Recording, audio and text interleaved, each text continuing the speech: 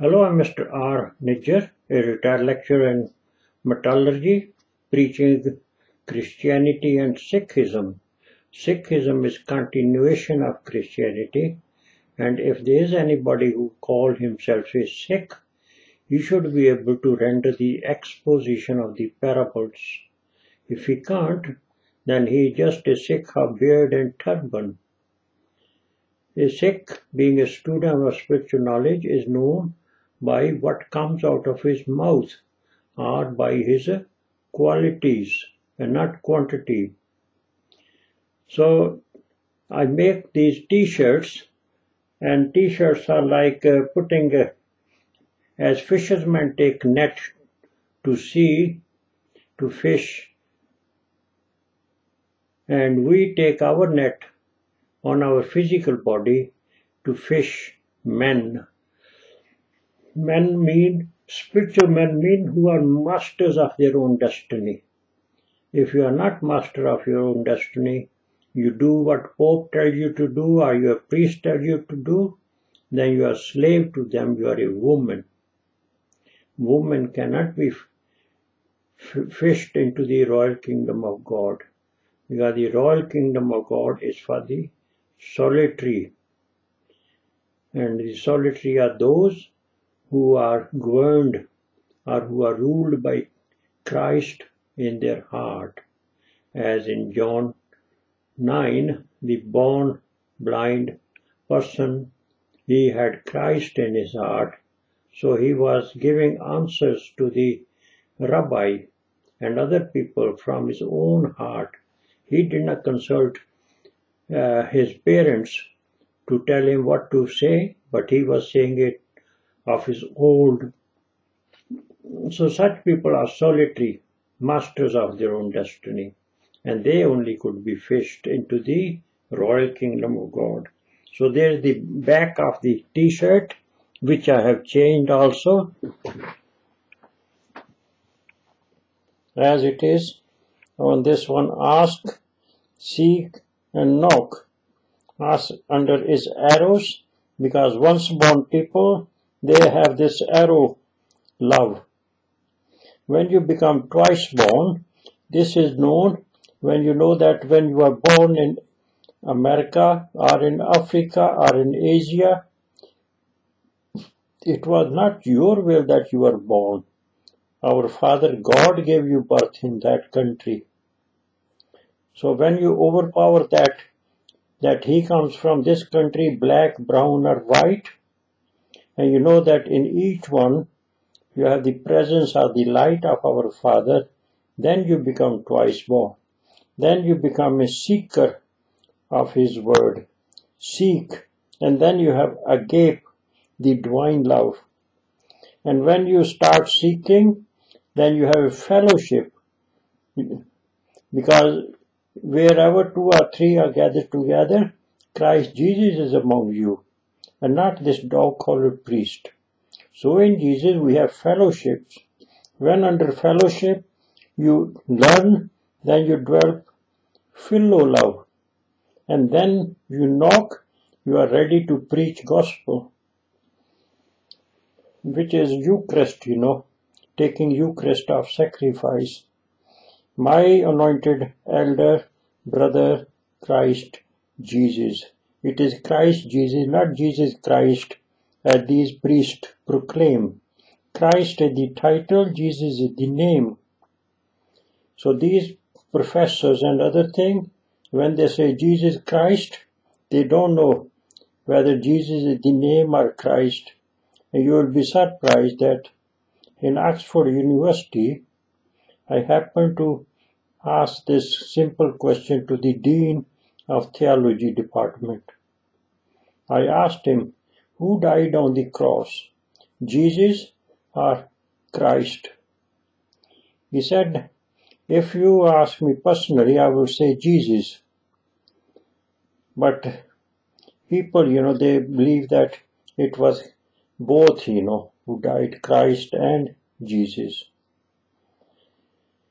So he himself knew that Christ is the title and Jesus is the name. but still he will proclaim Jesus Christ. So that is wrong. In Jesus, everyone is to give his own account to God. In your, nobody can give your account to God.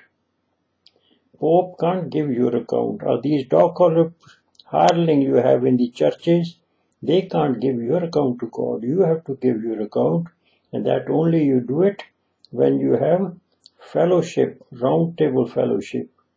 In everyone is equal. So beware of the hireling hypocrites. They are hireling sweet spoken hypocrites. They are controlling your churches, dog collared. They are paid money. They they do not give but take. They work for Mammon and not God. This most of the people know that they are employed like a policeman. They put on a dog collar, and they are not working for God but Mammon. Because people who work for God, in them what comes out of the mouth that matters, and not those dog collar priests or any gowns or anything or robes. They are of Antichrist. Judah Iscariot was a thief. Now Judah Iscariot, whenever he wanted to buy certain thing, he will take money from the purse to buy it. And uh, most of them knew, only Peter did not knew that he buy it. The Peter was once born. So in churches, you will find that some of those people who organize the church, they are crook. They will steal money from the church purse. But the simple-minded people, they are given, they give very good excuses and pamper them, you know.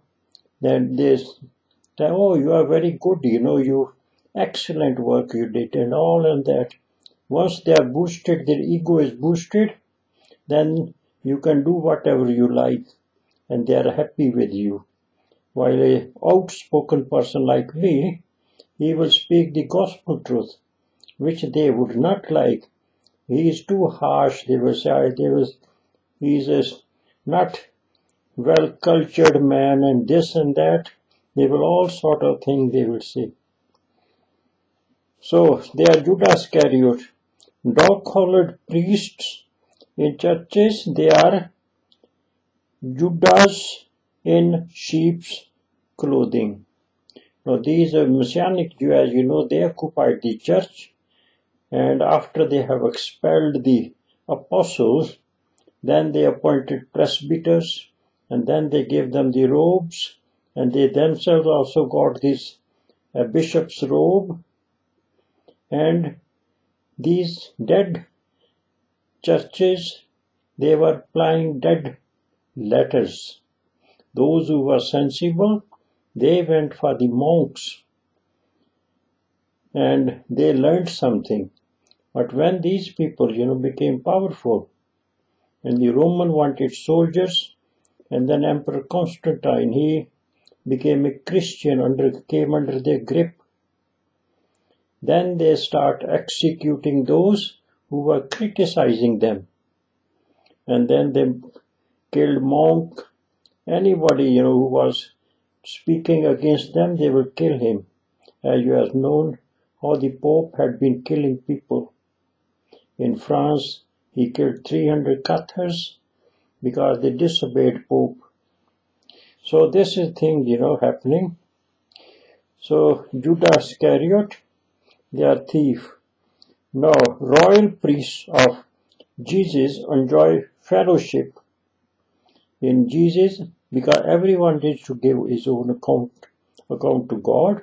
So fellowship is the best. You can have a, a bishop in the church who will look after the administration or who will uh, keep the people morally sound. If he find anybody who is a liar, he will throw him out. Remember, Peter is the gatekeeper to the fold. there's one fold, one shepherd. So this the fold is Church of God, headed by Christ Jesus, and Peter is the gatekeeper. He won't allow any liar inside the Church of God. That is why he killed Ananias and Sapphira, who held back the money. He killed them. So, if the people in the church they are truthful, then they will love the gospel truth, which is much bitter. So that is a, Uh, a fellowship, you know, you have. They enjoy, oh, sorry, they give to, give to, and not steal from churches. So they gave to the church, you know, then the money collected, they gave it to the charities and other things. They open free food kitchens. When you open a free food kitchen, then you are doing a work of philanthropy. Because those who eat, they can't invite you back to repay you. So this, that is philanthropy, which Christ Jesus has introduced to us and then you have Old Testament is deadly poison to the New Testament. Now you remember that Jesus said, do not bring Jewish leaven into the church. But when the Messianic Jews, they occupied the church in order to lower or uh, to bring back their old customers, which used to be in the temple simple-minded people. So they bring in the Torah into the church. As soon as the Torah came, the influx of those people who were in the temple with a much cleaner heart, which is described in the arid spirit parable, Matthew 12, verse 43 to 45. The arid spirit could not find a green pasture. They said, okay, let's go back to our old customers, old house. And they found it in much cleaner and in much order. With them, they bring seven more evil spirits. These are the seven church elders who are evil. So Old Testament when they got it, and the apostle used to come to the church to preach gospel, but they were already busy reading the Old Testament. And they say, oh, we know it already, that Christ will come and this and that, and we don't want to know you. Remember, when Jesus was in Jerusalem, these people he was preaching over there, the people were reading Torahs, drunk with the old wine of the letters, then they have no desire for the gospel or the new wine. But when Jesus went to the Samaritan village, she told the woman at the well, You Jew hate us. You ask water of me? She tauntedly taunted him, you know, that you Jews think you are superior to us and you want water, but as soon as Jesus opened the mouth, I can give you living water.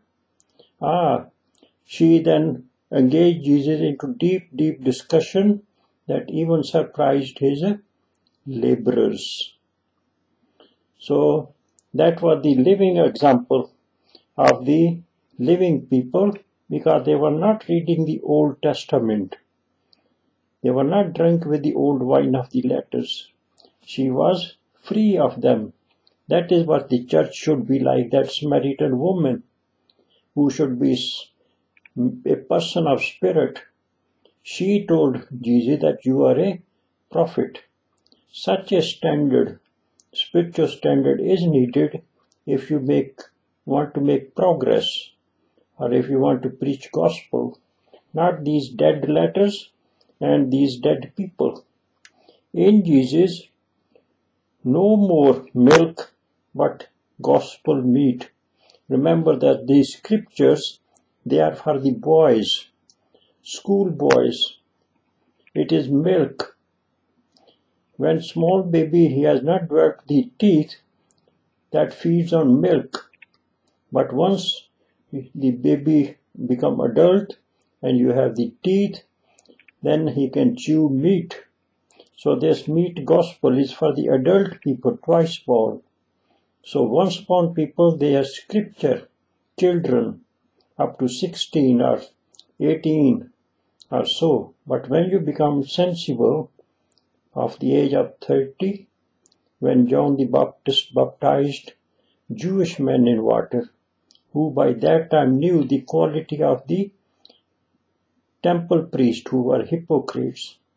So they came forward to John the Baptist and he baptized them in the name of Abraham, not in the name of God the Father's Holy Spirit and all that.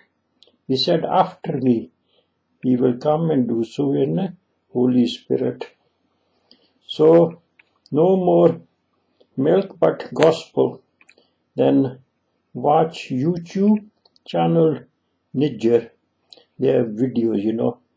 So hope this t-shirt will will attract more people and more people will ask me questions and hope we will be able to fish spiritual men